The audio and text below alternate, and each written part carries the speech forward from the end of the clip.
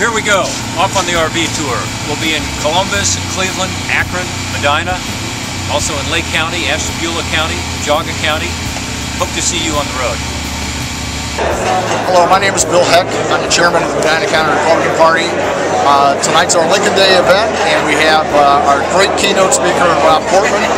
He's exactly the kind of fiscal responsible person that we need, and uh, will work real hard for not only Medina County, but for the entire state of Ohio. These are tough times.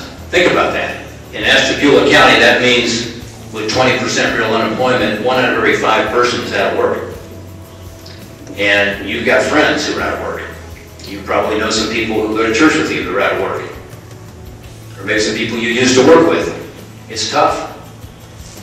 And what I worry about, and the reason I'm running, is I see everything that Washington is doing as being bad, not good, for job growth in Ohio. That's why he's not around. Add it all up. The taxes, the health care, the new regulations, the energy costs, the card check proposal. All these things are making it more difficult for those entrepreneurs to take that risk, for those innovators to invest that capital, for people to actually create jobs and opportunities here in our great state of Ohio. And I think the strength of America, which is the strength to be that hope and beacon for the rest of the world, to show people that democracy and free enterprise and free markets works, is dependent on what happens in this room, in this state, and in this country in 2010 and 2012. It's not just about us doing well as Republicans. It's about our country. It's about our state. It's about your community. It's about Lake County. It's about the future for our kids and grandkids.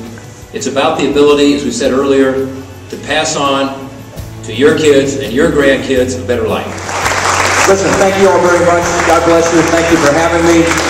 Good luck to you. I look forward to helping all the candidates in this room, and I look forward to your help in November. We're going to need it. It's going to be a tough election. The Democrats are already targeting Ohio from all around the country, but we're going to show them. We're going to show them that common sense conservatism is still the way Ohio wants to go, and we're going to win.